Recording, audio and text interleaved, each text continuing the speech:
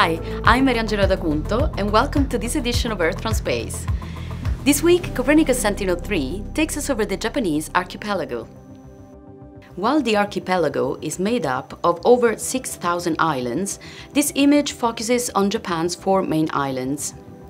Running from north to south, we can see Hokkaido at the top, Honshu, the long island stretching in a northeast-southwest arc, Shikoku, just beneath the lower part of Honshu, and Kyushu at the bottom. Honshu's landmass comprises approximately four-fifths of Japan's total area. Its main urban areas are clearly visible in the image.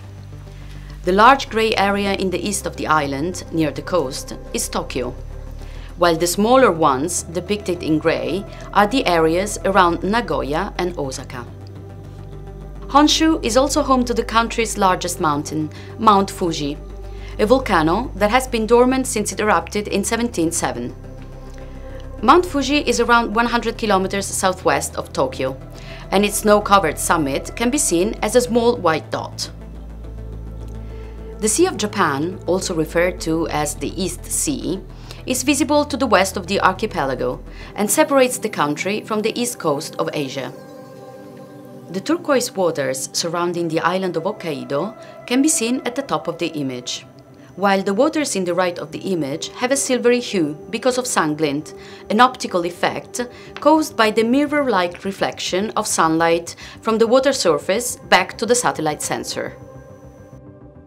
Sentinel-3 is a two-satellite mission to supply the coverage and data delivery needed for Europe's Copernicus Environmental Monitoring Program. Each satellite's instrument package includes an optical sensor to monitor changes in the color of Earth's surfaces.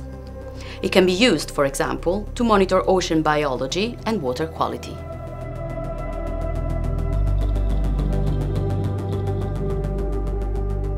And that's all for today.